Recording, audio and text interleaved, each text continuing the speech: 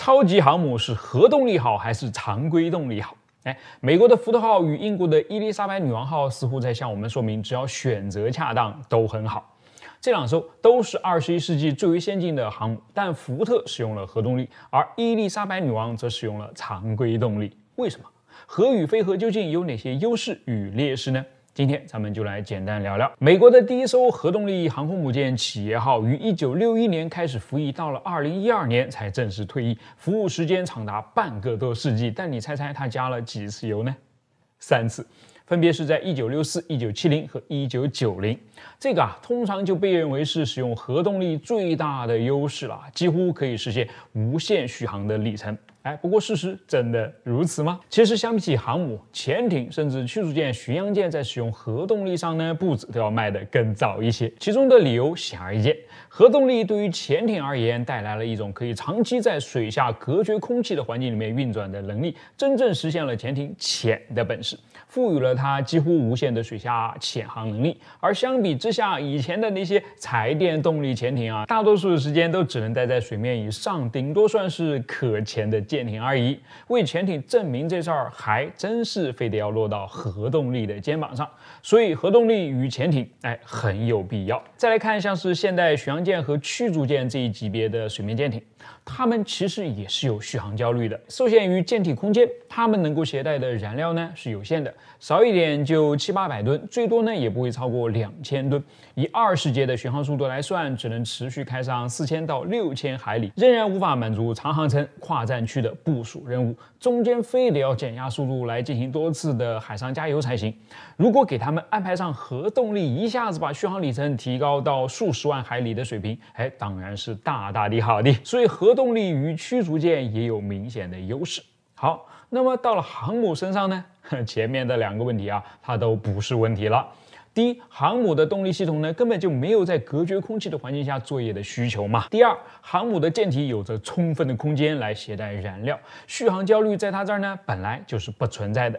比如二战时期的美国埃塞克斯级与中途岛级航母，可以分别携带六千与一万吨的燃料，十五节速度下的标准航程可以达到两万海里。再比如后来的弗莱斯特级与小鹰级，在携带了八千吨燃料后，能够以二十节的速度续航一点二万海里，满足绝大多数作战部署的需求，已经绰绰有余了。所以核动力的无限续航对于航母的吸引力，真的是一点都不大。而且无限续航对于航母来说，嗯，更像是一个伪命题。原因有二啊，一是解决了航母本身的续航问题，哎，就真的完事儿了吗？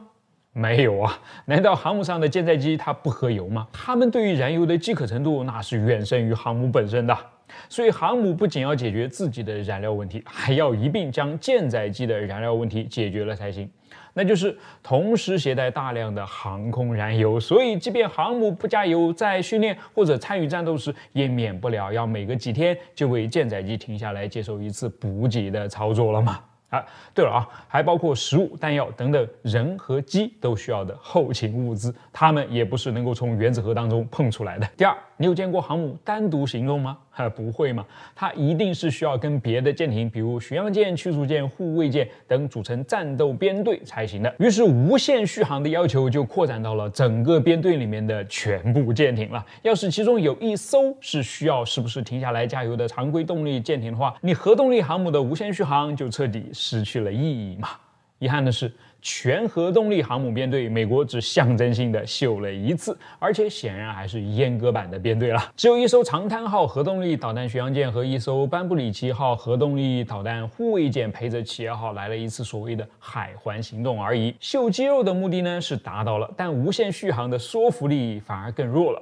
哎，那干嘛还要核动力？它真正的魅力到底在什么地方呢？哎，在动力，具体点说啊，是在庞大的电力输出与蒸汽动力的语域上，它可以在以下这几个方面发挥重要的作用。一是随着电子装备数量的持续增加，现代航母的电力消耗急剧攀升，对电力输出的需求呢就明显变得更高了。而对于常规动力航母来说，它的锅炉当中产生的蒸汽需要同时承担驱动推进系统、驱动电力系统和驱动蒸汽弹射器的任务，在三者的需求都变得旺盛时呢，就开始力不从心了，必须要小心翼翼的在三者之间维持平衡，才能避免因为用蒸汽发电太多而影响到推进动力和弹射动力的问题。而核动力可以进行无限持续的供应蒸汽输出，就既能让大胃口的电气设备吃到饱，也能够让推进系统不必担心掉链子，可以长时间的保持三十节以上的速度航行，为舰载机的弹射呢提高了效率，也能够在一定程度上降低被对方鱼雷和导弹锁定的可能啊。哎，当然弹射所需要的蒸汽也可以留得足足的，